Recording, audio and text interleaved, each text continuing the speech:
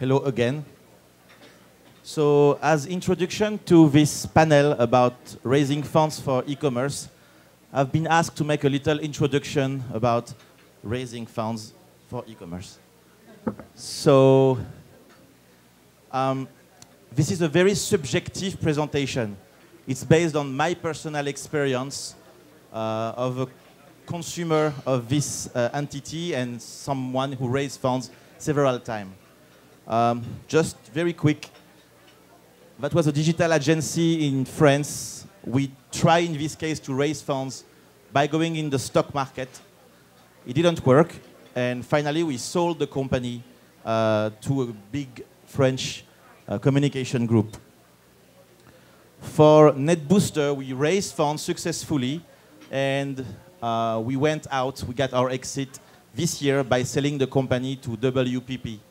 So this one is a good exercise. And for CashCashPinoy, we already raised funds two times, one with Love Money and one with a Serie A. We will talk about that later on. And we'll see for the exit what will happen. And I had also another company called Attitude Studio. Um, we raised a lot on this one, really a lot.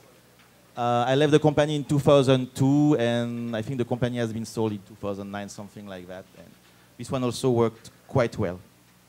So, when you talk about raising funds, uh, you get inside the matrix, meaning forget everything which is artificial.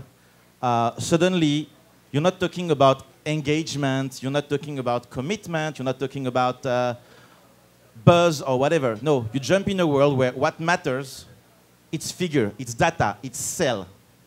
You're talking to people, whoever they are, who don't care about the buzz. They are going to give a valuation to your company with cold blood. So you jump in another world. That's something we will talk after. Maybe it's not good to raise funds. It's not a necessity, actually. So you have to choose in some business, you don't have the choice. You have to raise funds.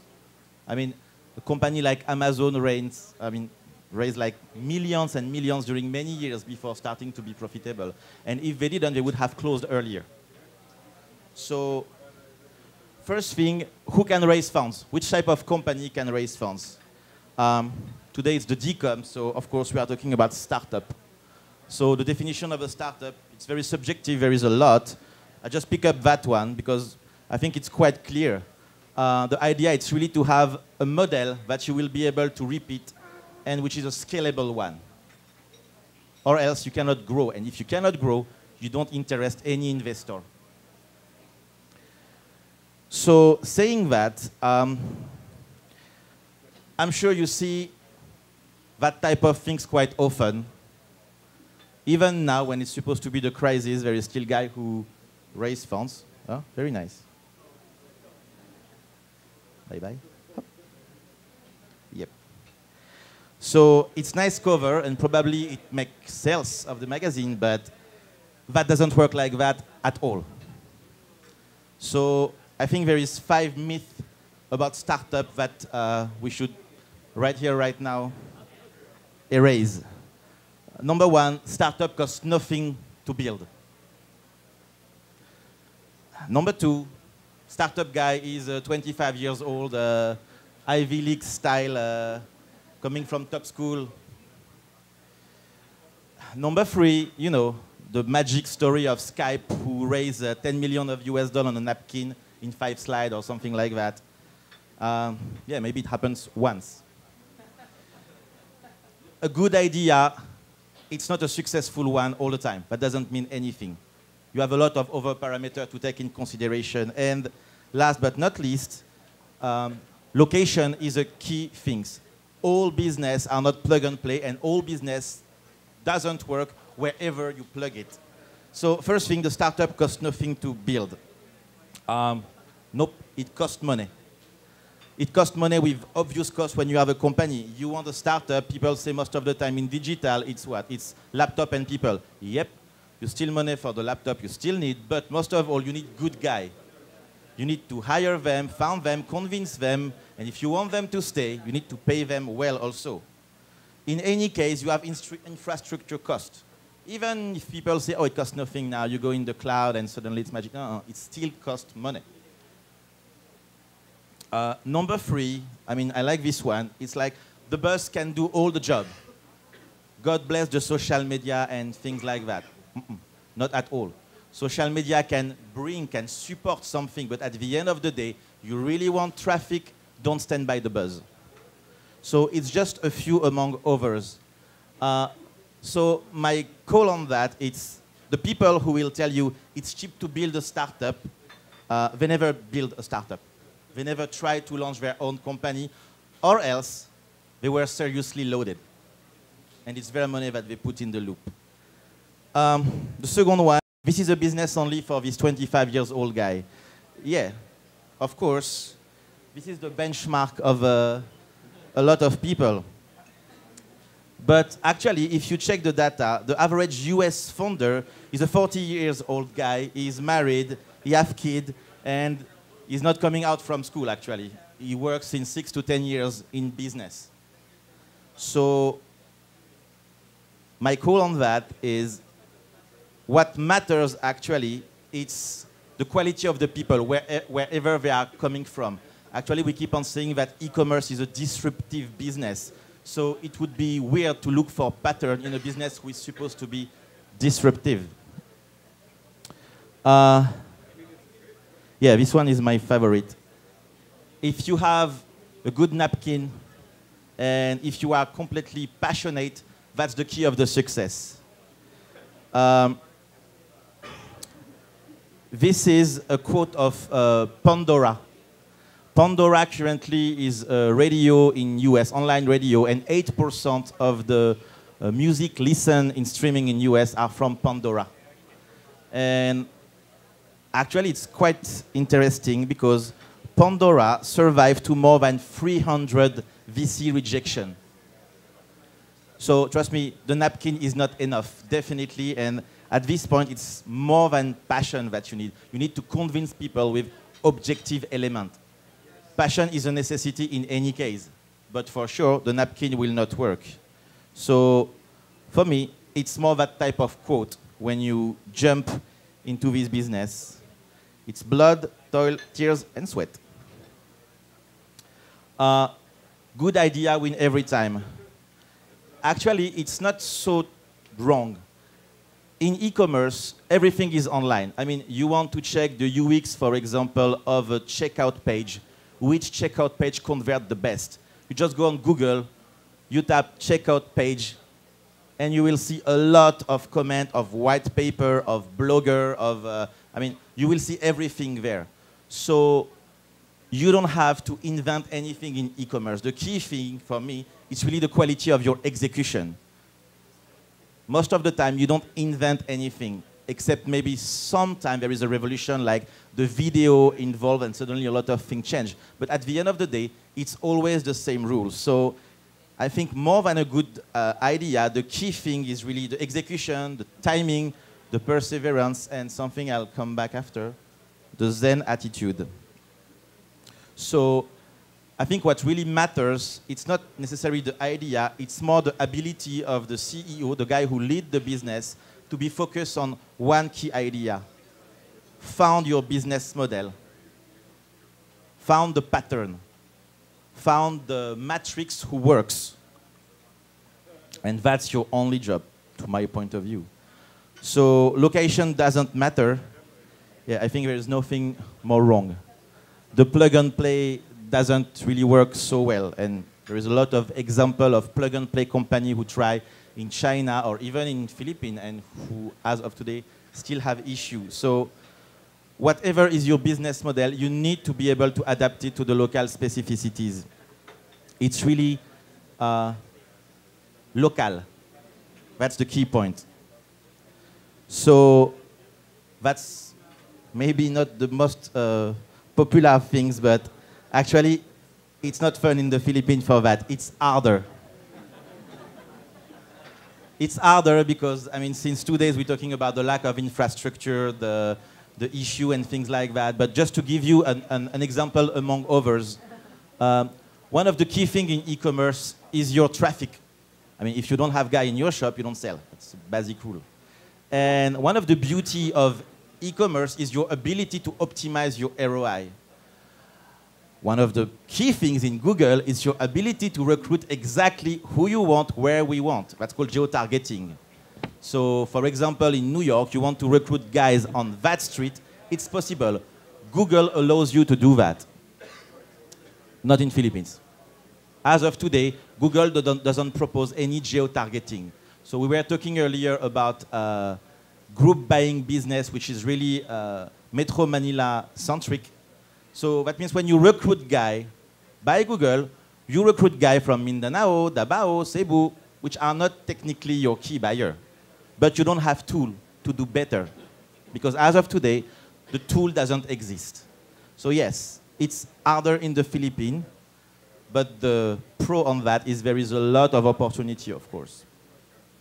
So now that we are talking about Philippines, the first thing is how can you raise funds? Once again, this is just my personal experience on that. Um, it's a little provocative, but raise funds only if you need it. When you raise funds, you inject in your company a lot of new problems. That doesn't mean it's not nice. It's like getting married. It's beautiful, but in the meantime, uh, you create new problems that you didn't experience before. So the first thing for me is raise funds if you need it. If you can do without, do without. And even businessly speaking, your exit will be better if you can do without. Some business don't have the choice. Some business must raise. It's like that. But that's the first thing. So how can you raise funds? Um, once again, there is a panel after, so I try not to get too much in the detail, but roughly you have three doors to knock. Um, the first one, we call that the love money. So to make it simple, you borrow money to your friend, your tita, your brother, your uncle, your uh, school friend that you didn't talk to since 10 years ago. I mean, everybody, you get the money. Um, most of the time, this is limited money, limited amount, and it's when you have only a business plan. These guys usually they have a high level of trust in you and they can give you a little to start. Uh, the second door to knock is the business angels. Um, it's people who have money. They are not specifically connected to you, but they are ready to invest money. But this guy, except a few which are really, really, really loaded, they will not put millions of US dollars on your project. And the last one is specific company uh, who are set up to invest. We call that venture capital. So this guy, uh, there is a lot, it's a, it's a total landscape, meaning you have guy who invest only in biotech, guy who will invest only in e-commerce, guy who will invest only in projects who are scalable in several countries. Some will invest only amount from one to five. Some, if you don't come with a need of 10 million, they will not even talk to you. It's a very organized uh, market. So I try to make a little mapping I think it gives a, a, an idea of what you can expect and what you can expect uh, based on the different type of population. So I didn't really talk about the love money because I think it's quite clear for everybody what is love money. So I was more interesting to be focused on uh, VC uh, versus angels. What's the advantage of one? Uh, what's the issue? So most of the time, a VC who will get inside your company he will request to have a share of the control. That means he will request a board seat. Uh, he will be part of the decision when a VC, uh, sorry, a business angel will be more on the side. He will consider himself more as an advisor than an active uh, guy who takes part in the decision. That is also reflected on the money they invest, of course a VC will always take 20 to 30 uh, percent of your company. Except, of course, if you are a huge machine and you are making your like Series C, D, E round, and in this case, it's different. But most of the time, that's what they will request. When a business angel will invest less, and he will take only 1 to 10 percent of your capital. Um, of course, when you put several hundreds of thousands or millions of US dollars, uh, you're clearly engaged in what's happening in the company. So a VC will be more active. When a business angel will be, actually it's really intuitu personae, meaning it will depend on the guy. Some guy will be really involved because they know very well the business or it's just their passion. Some guy will just invest and you know they will just request one email per month and see what's happening. But in the two cases, it's really a question of uh, meeting. I mean, in both cases, it can be a really nice experience or it can be a total disaster. It depends a lot of the quality of, of the relationship you will be able to set up. Um, what else we can say about VC, which is the highest level in terms of investment? The good point is they have deep pockets most of the time. So that means if they decide to jump into your business, they can follow you. If you need to scale, they can be there for you. Um, they can you, pro provide to you value add. It can be in their portfolio of contact, uh, portfolio of other company that they have invested in. Um, most of the time you have also professional of investments, so they can help you in the strategic planning and, and a lot of other things. They also, of course, bring in the table uh, their experience. I mean, they invest in a lot of companies. They saw the mistake. They saw also the good decision it's valuable also. And one thing also which is important, um, they don't invest in niche business. You need to have a certain size of your potential market to attract this type of people. Actually, I think this is kind of important because DCOM, of course, is Filipino focus. And uh, this morning when we talked to uh, Undersecretary Domingo, we, we raised that, that point. That's probably one of the issue now that the startup e-commerce uh, ecosystem, uh, one of the issues we are experiencing. To make it simple, if you are looking for 50,000, 100,000 US dollars, there is door to knock. Uh, some of the people we are going to talk during the panel, um, there is a, a, lot of door that you can knock now for that type of amount. The problem is when you need the second round, as of today, there is almost no one. So that's the tricky things. Uh, there is not a complete ecosystem as of today in terms of investment. But some things are changing now, actually. When you talk to uh, Singaporean, Hong Kong guy, uh, Australian, uh, Chinese, even Russian funds now, they start to be really active when it's about Southeast Asia. And by Southeast Asia, I mean Thailand, Vietnam, Indonesia, uh, and Philippines. I'm not talking about Korea, which is already a mature market. They are really now interested to invest in project, in company, in this market. Uh, probably, I mean, based on my contact, 15 months ago, they still have doubt. There was not a lot of case studies to reassure them. But now I can see that a lot of things have changed. And actually, um, if you just give a few phone calls to some guy, you will see now that there is funds really focused on this market, which is first, a very good news. That means now you have door to knock, but which is also a huge shift compared to even one year and a half ago. So, okay, what do you do if you want to raise funds? So the first thing is you need a strategy, definitely, uh, because you go to war. It's not something that you are going to make with a snap of finger in, in two weeks or even in two months, actually. So you need to know exactly how you're going to organize that, who will dedicate time uh, to that, um, what's going to be your message, what's going to be, what are you ready to accept and, and not accept, which is connected to planning. Because raising funds, in any case, it's six to 12 months. Some people will tell you, yeah, yeah, we can do it in three months. The truth is between the committee, the due diligence, the negotiation, the whatever. No, you have to take that in consideration, especially in our business where sometimes cash flow is a key issue. The second thing is, uh, for me, the third thing is organization. Per based on my personal experience, once I screwed, I was too much focused on the fundraising and not enough on the daily business. So finally, you consider that raising fund is an end in itself. No, it's just a mean to develop your business. The key thing is the business as usual. So when you raise fund, you have to be careful to keep on maintaining your business as usual. Um, I was talking about the napkin. And yes, you need more than a, napkin, actually. You need a complete pack.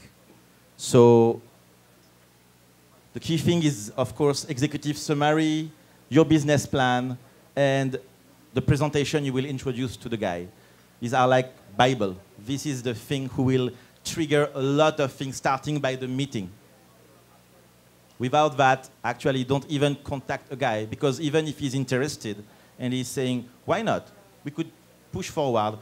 Next sentence will be, send me some data. I'll send you an NDA. And then, okay, can I talk to you in two months? I need to prepare my data. Um, another thing, be patient. You have to stay zen. You're going to talk to a lot of different guys. Some guy will destroy your business model. Some guy will propose you things that you judge completely crazy based on your experience. Maybe they are wrong, maybe they are right. Uh, but I'm just saying it's going to be a long road. You are going to talk to different people who all have a different opinion on your business. Sometimes based also on benchmark that they saw somewhere else. Some will say that you have too much people, you have to cut your cost by two, or you have to divide your team by two, which is for you impossible. So it's definitely a, a Zen uh, approach. So in a nutshell, what are they going to look for? Number one, a big market you are talking to guys that consider that there is a market if it's billions, not if it's millions. Most of the time, these people put money because they expect a high leverage in five, six, seven years. So if you tell to the guy, put one and I'll give you two in like five years, uh, end of the discussion. They expect five, six, ten um, feedback, return. So definitely you don't do that with a niche market, which is good. In Philippines, there is a big market. Uh, the second thing is why your company has a competitive advantage regarding the other one. Why your company, why you. The third thing is the quality of your business model. I mean, um, you need to be able to show that there is a traction in your business model, that even if you lose money, for example, your revenue are drastically increased. Actually, in some cases, it's better to have a company, for example, who make only 10 and the month after, the year after, who will be 20, even if you lose money, than a company who do 10 and do 11 by being profitable the month after. In some cases, the guy will look for the traction. Um, you need to show that you have something that the other one doesn't have, something unique. It can be a technology, it can be the quality of your business model. They also consider some subjective uh, element, like the quality of your brand, your position in the market. Most of the time, people used to say that if you are not in the top three, it's complicated to convince people. Definitely in digital, team is the key.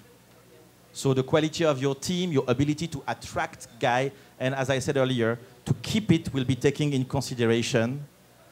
Um, I call that interpersonal chemistry. That means at the end, you're talking to some guys and they are talking to you. They know that your business plan, you said most of the time you propose business plan for the three coming years. Who have an idea of how will be the market in two years? So they will judge also the ability of you and your team to adapt yourself to the change of the market. I mean, we were talking this morning about the roller coaster. I think Jojo has this image. Uh, it's a kind of that. How will you be able to adapt your business, your team, your organization on all of these changes? Last but not least, uh, they want you to tell them a story. They need to see that you have a view, not only a snapshot of the situation right now. They want you to say, okay, this is how I think the market will move. And this is what I'm going to do to take advantage of, of that. Once you have all these things, uh, you have your pack and you contact the guy. I mean, we could talk hours about that, and that was not the plan of this introduction, but you will discover other joys, starting of the meeting, how to get the meeting with the guys. Um, if you don't have introduction, it's complicated. Actually, there is even some intermediary who introduce two founds. Um, but if not, I mean, you have to be persistent.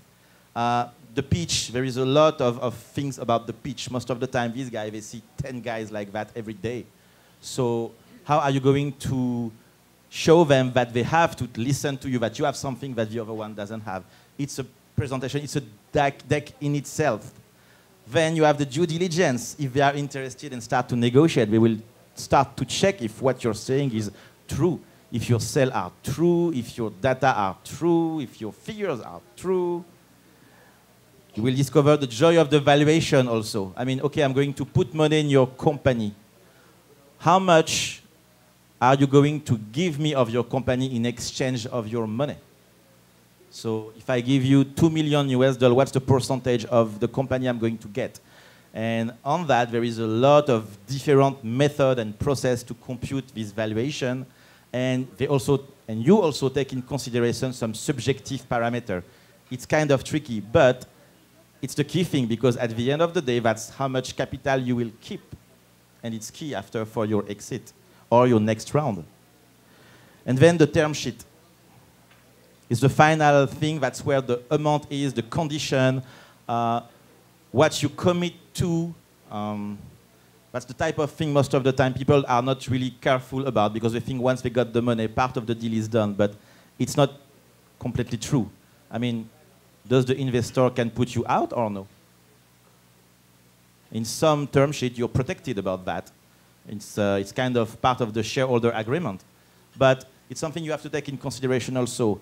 When you are agree on the money, that doesn't mean you agree on the term sheet. Just to give you an idea, with WPP, between the moment we were aligned to sell with them and the moment the sale has been made, it took six months of negotiation. So it can be a challenge in itself. Despite that, definitely that's the moment to jump into e-commerce. Um, that was one of the goal of the objective of this uh, DCOM summit. It was really to show to people that there is definitely opportunity. The market is here and not is coming. It's already here. Uh, Dave's presentation this morning showed that Filipino are now ready to buy. They are just expecting proposal, offer. I think that's one of the reasons why these flash sales deals are so popular. They wanted to buy, they just didn't have any opportunity to do it.